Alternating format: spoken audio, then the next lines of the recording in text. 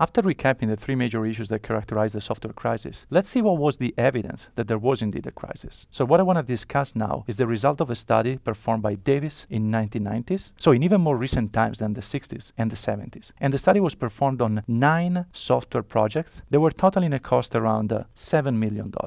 And I'm going to show you how these projects went using this representation, this pie representation, in which I'm going to discuss what each of the segments of the pie represent. So let's start looking at the first one. This is the software that was usable as delivered. Other software was delivered and usable either after some changes or after some major modifications, so with an additional cost involved. But the striking piece of information here is that the vast majority of the software, so these two slices, were software that was either delivered but never successfully used, or software that was not even delivered. And this corresponded to five over the seven total million dollars for all the projects. So clearly, this shows a pretty grim picture for software development and its success. In short, there was clear evidence that software was becoming too difficult to build and that the software industry was facing a crisis. And this is what led to the NATO Software Engineering Conference that was held in January 1969, which is what we can consider the birth of software engineering. And what I'm showing here is a drawing of the proceedings for that conference. And if you look at the class notes, you can see a link to the actual proceedings in case you're interested in looking at the issues that were discussed.